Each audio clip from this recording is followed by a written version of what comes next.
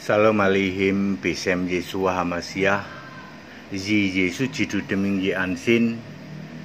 Trukat Yesus Christ Bless you all. Bersama saya Pendeta Henry Tandianta MPS Kali ini akan membahas sebuah tema. Apa bedanya kitab suci dengan Injil? Saudara-saudara ya. Ini pengantar dulu ya hampir semua yang ngaku Kristen padahal sekte Nasrani. Kisah 24 ayat 5 dengan jelas menulis sekte Nasrani yaitu yang mempercayai Yesus itu masih manusia orang Nazaret yang sujud menyembah kepada Bapa maka disebut sekte Nazaren atau Nasrani. Sekte artinya sesat, artinya bidat. Jadi kalau Anda hari ini masih meyakini Yesus masih sujud pada Bapa, Andalah yang dimaksud sekte atau sesat Nasrani. Ya, kebanyakan sekte Nasrani tidak bisa membedakan kitab suci dengan Injil, ya Malah dia bilang Injil itu ada empat. Oh, oh kan Allahmu tiga. Nasrani itu Allahnya tiga, Tritunggal. Allah Bapa, Allah Anak, Allah Roh Kudus. Lalu Injilnya ada empat. Matius, Markus, Lukas, Yohanes. Kitab sucinya ada dua. Perjanjian lama, perjanjian baru. Betapa dalamnya engkau telah jatuh di dalam yang namanya penyesatan Tritunggal ngarang bebas ya saudara-saudara ya. Ya, jadi kitab suci ya tidak bisa mereka tidak bisa membedakan bedanya kitab suci dengan Injil. Ya, baik eh, kita akan bahas dulu. Yang pertama kitab suci, namanya kitab suci maka itu adalah kitab ya disebut juga Alkitab Lukas 4 ayat 16. Benar nggak ya Lukas 4? Lukas 4 ayat 16 sepertinya benar. Disebut juga Alkitab itu adalah kitab suci. Ya, Yesus sendiri mengatakan begini di dalam Lukas 24 ayat 44. Harus digenapi semua yang ada tertulis tentang aku, ya, di dalam kitab Taurat Musa, kitab nabi-nabi dan kitab Mazmur. Lalu ia di ayat 45 ia itu Yesus yang tubuh kebangkitan itu membuka pikiran mereka sehingga mereka mengerti kitab suci. Jadi yang disebut kitab suci atau disebut juga Alkitab adalah eh, Taurat Musa yang terdiri dari lima kitab, kitab nabi-nabi 30 kitab dan Mazmur 4 kitab. Totalnya 39 kitab. Disebut perjanjian lama menggenapi Yeremia 31 ayat 32. Yesus membuat perjanjian yang lama, perjanjian lama dengan umat Israel. Maka 39 kitab itu disebut kitab perjanjian lama. Oh, jadi perjanjian lama itu juga ada ayatnya ya. Ada Yeremia 31 ayat 32. Waktu itu Yesus berbicara masih sebagai tubuh kebangkitan. Jadi saya ulang, kitab suci adalah sebuah kitab. Ya, ini merupakan tulisan yang diilhamkan Allah yang ditulis oleh penulis Alkitab. Mari kita cari tahu siapa ya penulis Alkitab ya. Penulis Alkitab adalah orang-orang yang diilhamkan oleh Allah.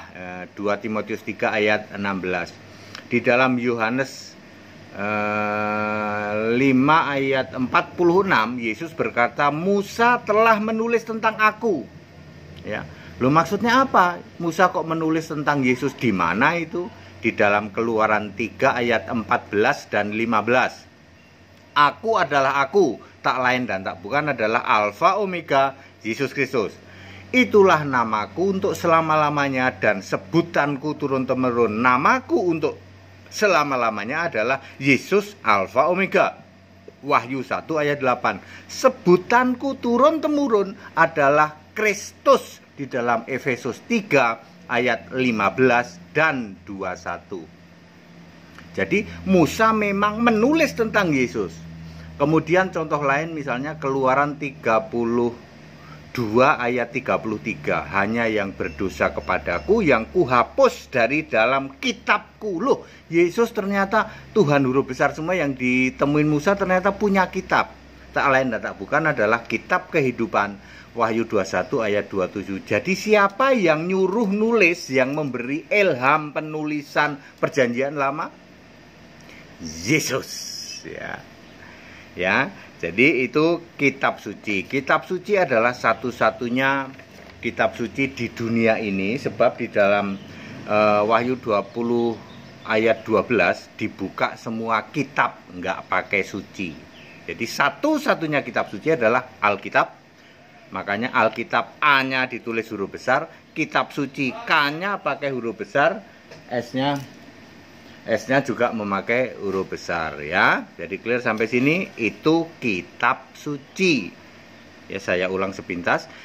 Kitab suci adalah satu-satunya kitab suci di dunia ini ya. Disebut juga Alkitab Lukas eh, 4 ayat 16. Kemudian yang nyuruh nulis adalah Yesus sebagai Allah, sebagai dulu sebagai Tuhan huruf besar semua.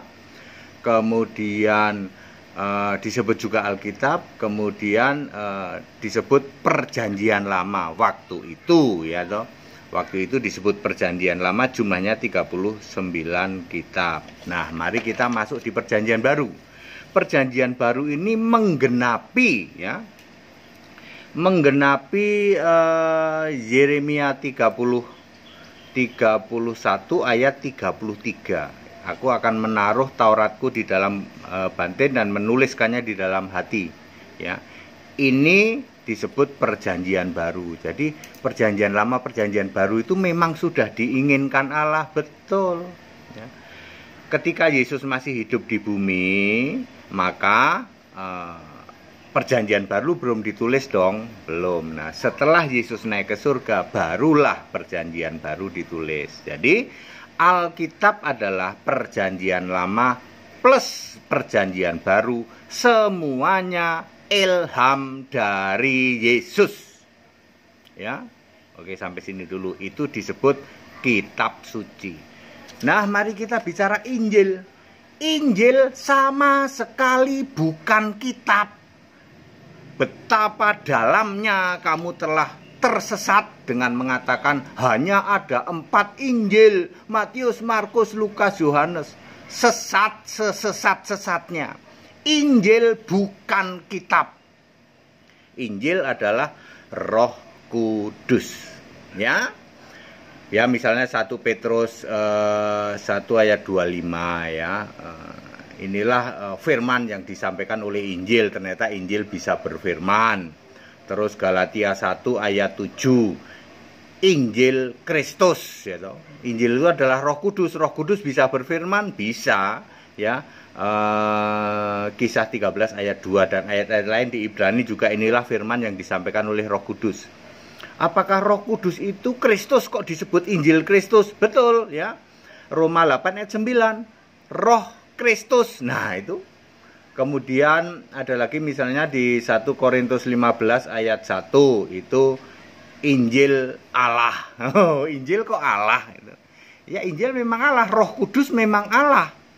Emang Roh Kudus Allah? Iya dong, Efesus 4 ayat 30, Roh Kudus Allah ya. Terus contoh lain misalnya di Wahyu 14 ayat 6 Injil kekal yang diberitakan oleh malaikat Injil kekal. Oh, berarti alfa omega roh kudus itu kekal betul. Ya jadi Injil adalah roh kudus. E, misalnya lagi Injil keselamatan itu di mana ya? Di mungkin di 1 Korintus 15 ayat 1 itu Injil keselamatan. Kemudian 1 Petrus 14 ayat 7 kalau tidak salah atau satu Petrus ya mungkin itu ya atau 714 ya itu ada uh, Injil Allah ya toh. Jadi Roh Kudus itu Injil, Roh Kudus itu Allah, Roh Kudus itu Roh Kristus, Roh Kudus itu kekal, uh, Injil itu menyelamatkan ya. Ya, diselamatkan oleh Injil dan lain sebagainya ya. Uh, boleh diteliti ya. Jadi Injil adalah Roh Kudus Yesus Kristus adalah Roh Kudus, eh, Roh Allah. Makanya nanti akan muncul Injil keselamatan, Injil itu kekuatan Allah, Injil Kristus dan lain sebagainya. Jadi Bapak Ibu Saudara, sama sekali Injil bukan kitab, selalu ditulis pakai I huruf besar. Clear? Betapa dalamnya kamu telah jatuh di dalam penyesatan yang mengatakan Allah kami ada tiga, Allah Bapa, Allah Putra, Allah Roh Kudus. Injil kami ada empat, Matius, Markus, Lukas, Yohanes. Betapa sesatnya kamu, ya, wahai Tritunggal dan semua pengajaran yang sudah ratusan tahun ya, kamu ajarkan bahwa Injil itu kitab hanya ada empat kitab Injil ya. ya. Injil adalah Roh Kudus. Silahkan dibuktikan ya. Kitab suci disebut Alkitab. Nanti di era yang lebih maju kitab suci tidak harus berupa buku.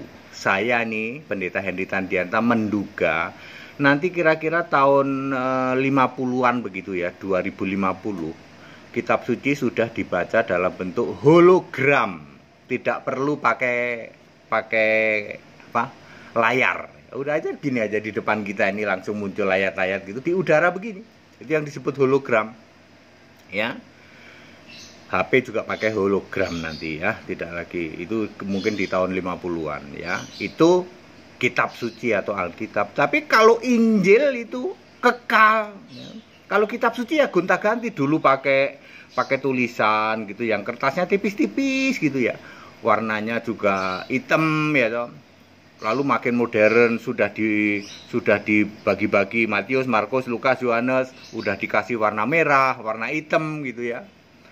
Sekarang makin maju masuk di dalam HP ya Alkitab yang setebel mungkin uh, kalau yang nanggung itu kan uh, anggaplah 6 cm begitu ya bisa masuk di HP begini ya manggilnya cepet nanti di era lebih modern kitab suci itu fisiknya berubah-ubah tapi kalau Injil itu adalah Yesus roh roh kudus ya ya dari dulu ya roh kudus ya roh gitu ya tidak berubah baik jadi itu bedanya kitab suci dengan Injil ya. Betapa sesatnya Anda yang mengatakan kami mengimani empat Injil lah ya wong Allahmu tiga.